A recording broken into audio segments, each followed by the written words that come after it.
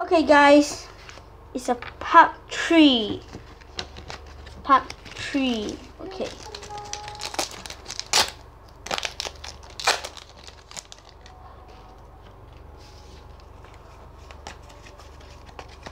Okay. We have a person and we have Metamari X.